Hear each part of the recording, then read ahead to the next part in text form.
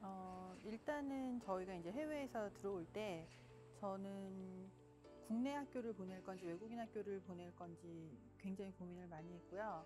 그랬는데 그때 생각을 했던 건 음, 아이의 미래를 생각할 때 제가 사실은 국내 교육에 대해서 조금 더 뭐랄까 회의적이고 외국인 학교에서 하는 전인적인 교육에 대한 믿음이 있었기 때문에 외국인 학교를 선택을 했고 그렇다면 이제 서울 시내와 경기도에 있는 어느 여러 학교들 중에 어느 학교를 보내는 게 가장 좋을까를 고민했을 때 어, 일단 좀 규모가 있는 거를 원했어요. 학교 school size가 커서 아이가 여러 친구들을 만날 수 있는 거, 그 다음에 school size가 크다는 거는 과목이나 선생님들이 굉장히 다양하다는 걸 의미하기 때문에 아이에게 선택의 폭이 넓어진다는 게 있어서요.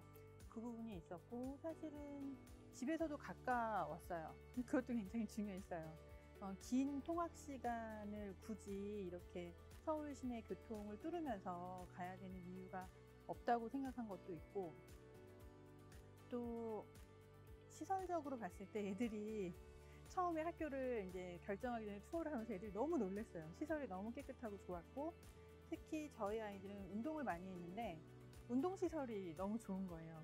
체육관도 많고 수영장도 있고 그리고 그 메인 사커 필드도 너무 좋아서 애들이 그쪽 그 운동 시설을 보고 사실은 완전 사랑에 빠졌다고 얘기할 수 있겠어요.